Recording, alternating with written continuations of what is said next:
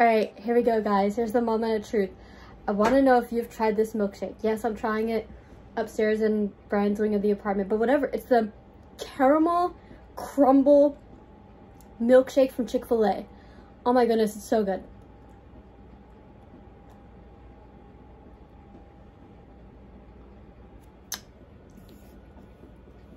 You guys, caramel, rich, true to taste.